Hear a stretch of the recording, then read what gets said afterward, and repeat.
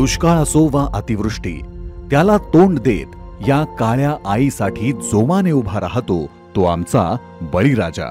त्याच्या उद्धारासाठी माजी मुख्यमंत्री स्वर्गीय वसंतराव नाईक यांनी हरित क्रांतीची हाक दिली.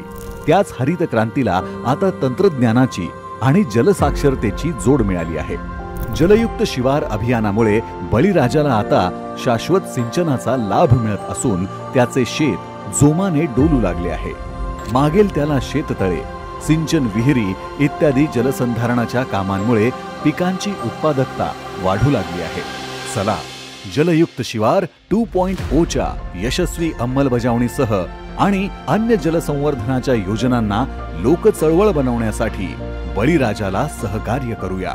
शेतीच्या शाश्वत संवर्धनासाठी एक दिलाने काम करूया.